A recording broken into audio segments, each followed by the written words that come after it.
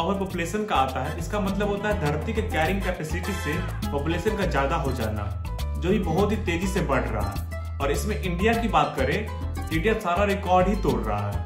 जब इंडिया में आज़ादी के टाइम पे सेंसस हुआ था तो उस समय इंडिया का पॉपुलेशन था 36 करोड़। और जब यही सेंसस दो में हुआ तो 36 करोड़ से बढ़कर पॉपुलेशन हो गया 121 करोड़। और 2020 का बात करें तो 2020 में अभी इंडिया का पॉपुलेशन है एक करोड़। तो सोचिए कितना तेज़ी से इंडिया का पॉपुलेशन बढ़ रहा है। इस वीडियो में आगे बात करेंगे पॉपुलेशन इतना तेज़ी से क्यों बढ़ रहा है, इसका क्या क्या रीजन है, और इसका हमारे समाज पे क्या इफ़ेक्ट हो रहा है। फिर लास्ट में बात करेंगे इसका सॉल्यूशन के बारे में। एक न्यू वीडियो में आपका स्वागत है। आगे बढ़ने से पहले चैनल को सब्सक्राइब ज़रूर कीजिएगा। ओवर पॉपुलेशन होने का बहुत सारा रीजन है। सब पे एक ही करके बात करेंगे। सबसे पहला रीजन है डेथ रेट में कमी। डेथ रेट का मतलब होता है कि हर साल कितने लोग मर रहे हैं। अगर पृथ्वी पे हर साल जितना बच्चा जन्म लेता है, उतना ही लोग मरेंगे। तो यहाँ का पॉपुलेशन स्टेबलाइज रहेगा, पूरा बैलेंस रहेगा। लेकिन अभी ऐसा नहीं हो रहा है। अभी बहुत कम लोग मर रहे हैं। जितना बच्चा जन्म ले रहे हैं, उसके कंपेरिजन में। जिससे क्या हो रहा है पॉपुलेशन इंक्रीज कर रहा है। दूसरा रीजन है एग्रीकल्चर एडवांसमेंट टेक्नोलॉजी में रिवोल्यूशन और पॉपुलेशन में एक्सप्लोजन दोनों एक ही टाइम हुआ है। Agriculture revolution fertiliser herbicide pesticide ये सब इस्तेमाल करके फ़ूड प्रोडक्शन बहुत तेज़ी से बढ़ा दिया है। जिससे जितना भी लोग है, उसको अनलिमिटेड फ़ूड का एक्सेस मिल गया है। सो ये भी एक रीजन है पॉपुलेशन एक्सप्लोजन का। नेक्स्ट है मेडिकल फैसिलिटी में इंप्रूवमेंट होना। इस टेक्नोलॉजी रिवोल्यूशन में मेडिकल फ़ील्ड बहुत ही तेज़ी से इंप्रूवमेंट हुआ है। जिसके वजह से बहुत खतरनाक महामारी और खतरनाक बीमारी का इलाज मिल चुका है। जिससे डेथ रेट स्लो हो गया है और ये भी एक रीजन है पॉपुलेशन एक्सप्लोजन का। और मेडिकल में टेक्नोलॉजी एडवांस होने की वजह से पहले जो बच्चा जन्म लेते ही मर जाता था, वो भी नहीं मरता है। आपको एक रिपोर्ट दिखाते हैं। उन्नीस सौ इक्यावन में एक हज़ार बच्चा जो जन्म लेता था, उसमें से एक सौ इक्यासी का डेथ हो जाता था। लेकिन ये नंबर अभी घट के सिर्फ़ अट्ठाईस हो गया है। तब खुद सोचिए मेडिकल फैसिलिटी कितना इम्प्रूव किया। अगला रीजन है लैक ऑफ़ फैमिली प्लानिंग हमारे जैसे बहुत सारे लोग हैं जो अनपढ़ है और गरीबी रेखा के नीचे आते हैं। उनके पास फैमिली प्लानिंग का कोई भी नॉलेज नहीं है। और वही लोग क्या करते हैं, अपने बच्चे को बहुत ही कम एज में शादी कर देते हैं, जिससे क्या होता है, उनके बच्चे को ज़्यादा बच्चा होने का चांस रहता है। और इन लोगों को ओवर पॉपुलेशन होने से कोई भी फ़र्क नहीं पड़ता। और इसमें इनका भी फॉल्ट नहीं है मेन प्रॉब्लम है एडुकेशन का। और सबसे लास्ट रीजन है पुअर कॉन्ट्रासेप्टिव यूज़ कॉन्ट्रासेप्टिव नहीं यूज़ करने की वजह से भी ना चाहते हुए बच्चा हो जाता है। जो हमारे देश का एक मेजर प्रॉब्लम है ओवर पॉपुलेशन का। ओवर पॉपुलेशन का सोल्यूशन जानने से पहले हम ये जान लेते हैं कि इसका इफ़ेक्ट हमारे समाज पे क्या पड़ रहा है। अगर इंडिया की बात करें तो यहाँ मैक्सिमम प्रॉब्लम का वजह ओवर पॉपुलेशन ही है। चाहे वो पॉल्यूशन क्यों ना हो या गरीबी क्यों ना हो, सबका वजह ओवर पॉपुलेशन ही है। तो हम सारे प्रॉब्लम को वन बाय वन देखते हैं। सबसे पहला प्रॉब्लम है डिप्लीशन ऑफ़ नेचुरल रिसोर्सेज धरती पर नेचुरल रिसोर्सेस लिमिटेड है, जैसे फ़ूड हो गया वाटर हो गया। लेकिन अगर पॉपुलेशन अनलिमिटेड हो जाएगा उससे कभी न कभी रिसोर्स तो खत्म होगा ही। उसके बाद लोग एक दूसरे को मार के ही खा जाएँगे। दूसरा प्रॉब्लम है कंफ्लिक्ट एंड वार्स जैसे अभी रिसोर्स का बात की तो जैसे पानी हो गया, पानी के चलते ही बहुत सारे कंट्रीज़ में तनाव चल रहा है। क्योंकि ज़्यादा पॉपुलेशन है तो ज़्यादा पानी का डिमांड है, लेकिन उसके पास रिसोर्स तो लिमिटेड ही है। तो बहुत सारे कंट्री के बीच में इससे मतलब लड़ाई झगड़ा होते रहता है। और कुछ लोगों का तो ऐसा ही मानना है कि तीसरा विश्व युद्ध पानी की वजह से ही होगा। अफ्रीका में तो ऐसा बहुत सारा कंट्री है जहाँ पे साफ़ पानी आदमी को पीने के नसीब नहीं होता है। और जहाँ पे मिल रहा, वहाँ पे लोग अनलिमिटेड इसका वेस्ट कर रहे हैं। अगला प्रॉब्लम है अनएम्प्लॉयमेंट का बढ़ना। अभी ही देख लीजिए इंडिया का हाल कितना ज़्यादा अनएम्प्लॉयमेंट हो गया है। और धीरे धीरे अनएम्प्लॉयमेंट और बढ़ेगा, क्योंकि जॉब तो लिमिटेड ही है, लेकिन पॉपुलेशन बढ़ते ही जा रहा है। और सब गवर्नमेंट को ही दोषी मान रहा है। आप एक एग्ज़ाम्पल समझिए, कोई भी एग्ज़ाम में सिर्फ़ एक हज़ार सीट है, लेकिन उसके लिए जो फॉर्म भराता है, वो पाँच लाख लोग फॉर्म भरते हैं। जिसमें से सिर्फ़ एक हज़ार ही पास होंगे, एक हज़ार को ही जॉब लगेगा। और जो बाकी रहेगा गवर्नमेंट को गाली देगा। अभी हमारे कंट्री में यही चल रहा है। नेक्स्ट प्रॉब्लम है high cost of living over population की वजह से सप्लाई और डिमांड में बहुत ज़्यादा डिफरेंस हो गया है। इसकी वजह से हर एक बेसिक से बेसिक चीज़, जैसे खाना हो गया, कपड़ा हो गया बेसिक एडुकेशन हो गया, चाहे बेसिक हेल्थ केयर हो गया, ये सब महँगा होते जा रहा है। इसका मतलब है कि आपको सरवाइव करने के लिए, चाहे आपको अपने फैमिली को फ़ीड कराने के लिए ज़्यादा रुपया पे करना पड़ेगा।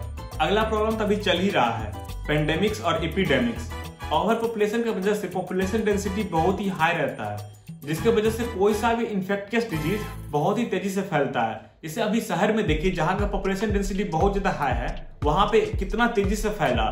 लेकिन गाँव की बात करें तो गाँव में पॉपुलेशन डेंसिटी बहुत ही कम है तो यहाँ पे किसी को भी नहीं हुआ।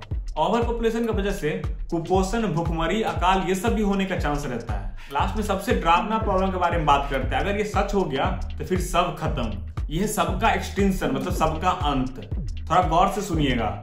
जब से धरती बनी है, तब से धरती पे पाँच स्पेसीज राज कर चुका है। और हम लोग ह्यूमन छठा स्पेसीज है। और बाकी जो पाँच स्पेसीज है, वो कोई ना कोई वजह से समाप्त हो गया है। जिसमें से आप एक को जानते भी होंगे डायनासोरस जो कि नेचुरल कॉज की वजह से समाप्त हो गया। और अभी जो हम लोग राज कर रहे हैं, वो खुद के वजह से समाप्त होंगे। आपको एक खत्म होने का रेट बताते हैं। खत्म होने का जो रेट है, वो पिछले पाँचों स्पेसीज से सौ से हज़ार गुना तेज़ी से बढ़ रहा है। वो भी खुद के वजह से। तो ये अनुमान लगाया जा रहा है कि अगर ये ऐसे ही चलता रहा तो आने वाले 100 से 200 साल में सब खत्म हो जाएगा।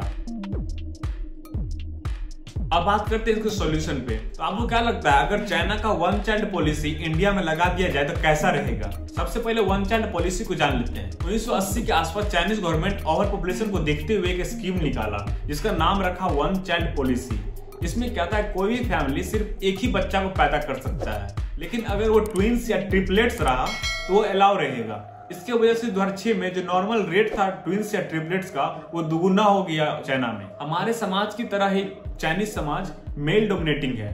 मतलब वहाँ पे भी मेल चाइल्ड को ज़्यादा प्रीफर किया जाता है। इसके वजह से फीमेल चाइल्ड का बहुत ज़्यादा एबोर्शन होने लगा।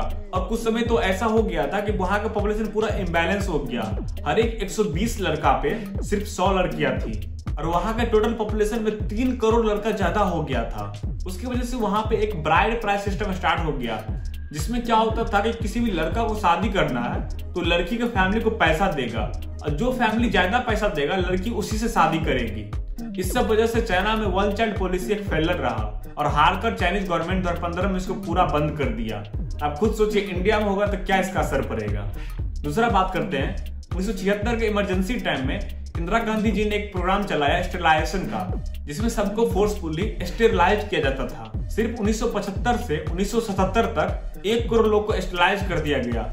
तो आप खुद सोचिए, इससे क्या हुआ होगा हमारे पॉपुलेशन ग्रोथ पे? आपको ये जान के आश्चर्य होगा कि इसका कोई भी इफ़ेक्ट हमारे पॉपुलेशन ग्रोथ पे नहीं पड़ा। ये पूरी की पूरी तरह से फेलर रहा। ये सब तो प्रोग्राम था जो पास्ट में गवर्नमेंट चलाया हुआ था, और उसका कोई भी इफ़ेक्ट नहीं पड़ा। तो हम बात करते हैं रियल सोल्यूशन पे इसका क्या सोल्यूशन है और पॉपुलेशन का।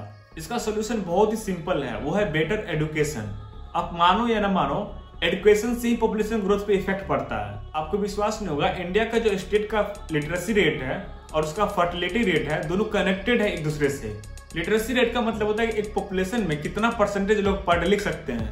इसमें इंडिया की एवरेज लिटरेसी रेट है 77.7 परसेंट और स्टेट की बात करें तो मैक्सिमम है केरला की 96.2 परसेंट और सबसे कम है आंध्र प्रदेश की 66.4 परसेंट इधर बीस का डाटा है और फर्टिलिटी रेट का बात करें तो इसका मतलब होता है कोई भी औरत अपने लाइफ टाइम में कितना बच्चे को जन्म दे रही है, ये आइडियल होता है दो। इसका मतलब होता है कि कोई भी औरत अपने लाइफ टाइम में सिर्फ़ दो बच्चों को जन्म देगी, इससे पॉपुलेशन पूरा बैलेंस बना रहेगा। लेकिन कभी कभी क्या होता है, बच्चा जन्म होते ही मर जाता है। उसके वजह से इस वैल्यू को 2.1 रखा गया।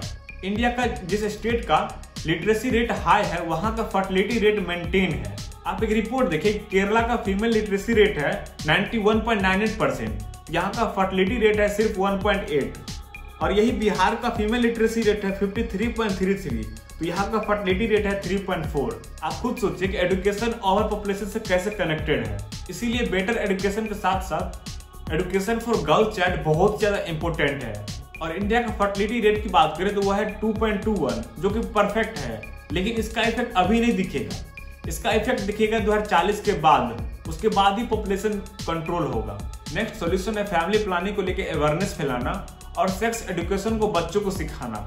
इसका भी बहुत ज़्यादा इफ़ेक्ट पड़ेगा हमारे ओवर पॉपुलेशन को कंट्रोल करने में। और अगर गवर्नमेंट ढंग से एजुकेशन पे फोकस करे तो पॉपुलेशन ज़रूर जल्द ही कंट्रोल होगा। यहाँ तक देखने के लिए धन्यवाद। चलिए मिलते हैं अगले किसी वीडियो में।